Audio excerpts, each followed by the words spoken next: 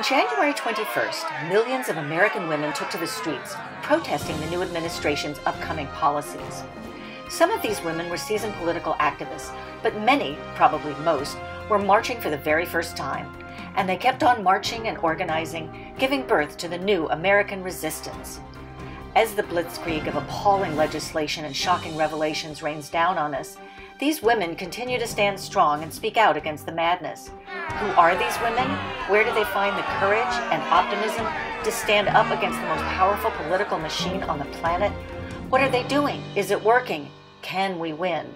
I'd like to find that out, wouldn't you? So I decided to get out there and talk to the women of the American resistance. I'm interviewing leaders, behind the scenes workers, lifelong political activists, first time protesters, pussy hat knitters, people with disabilities engaging in online activism. Their stories are inspiring. But more importantly, they are a resource for the creative ideas and practical tools we are all going to need if we're going to fix this mess together.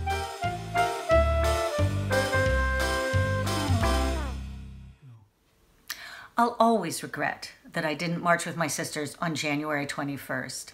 I was in Seville, Spain, and our little expat community there didn't have anybody in place to organize a protest.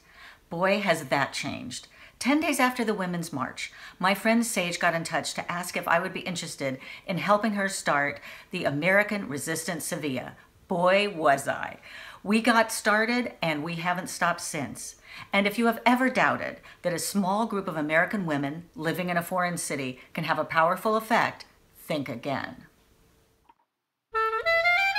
For instance, there was the Worldwide Tax March on April 15th. Everyone was protesting in the streets, but we knew we couldn't march in Seville because it coincided with our massive Holy Week processions. Try competing with that. So we came up with the idea of a virtual tax march, an online protest demanding that the president show his tax returns.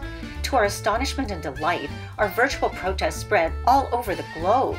And just this week, I learned that Democrats Abroad is relaunching our virtual tax march on a worldwide basis to coincide with the deadline for expats to file their taxes.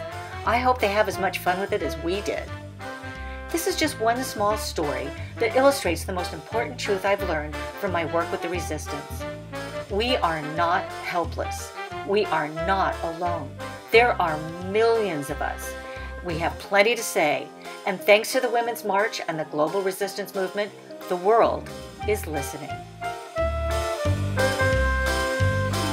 This is Karen McCann saying stay tuned because we're just getting started.